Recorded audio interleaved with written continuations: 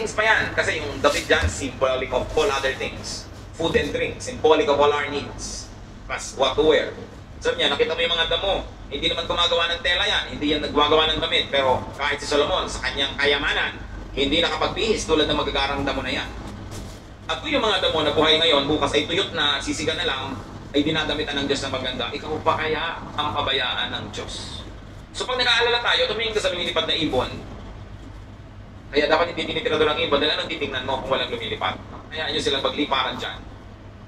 At tumingin ka sa damo na maganda, tumingin ka sa isda na maganda, tumingin ka sa lahat ng magagandang likha ng Diyos, ikaw pa kaya ang hindi alagaan? Eh kung yan na, pinaalagaan.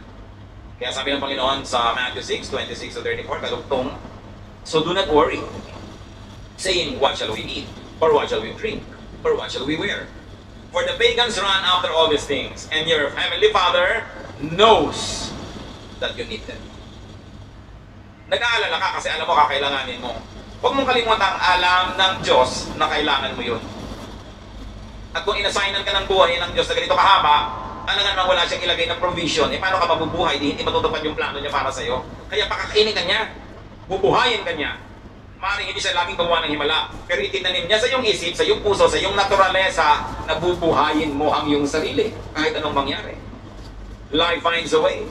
Kaya yung mga nagbebenta ng life insurance, pag tinanong mo, eh ba't po kayo nag-insure ng mga tao, paano ko matay lahat yan? Sabi bilang, hindi. Kasi ang tao talaga kahit anong mangyari, pananatilihin niya ang sarili niyang buhay. Kaya yun ang kakampi ng insurance company, yung pag-ibig ng tao sa buhay, nabubuhayin niya ang sarili niya.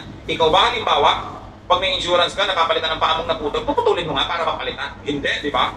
Hindi ko kung may insurance ka, gagawin mo yun. Kasi mahal mo yung katawan mo, mahal mo yung buhay mo. Itinakda yun ng Diyos. Kaya mananatili ang tao under His care.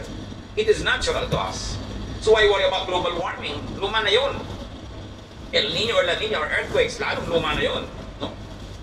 Pag tinignan yung mga guho ng mga Roman buildings ng dalawang libong taon na nakalipas, noon lumindol. Lagi may lindol.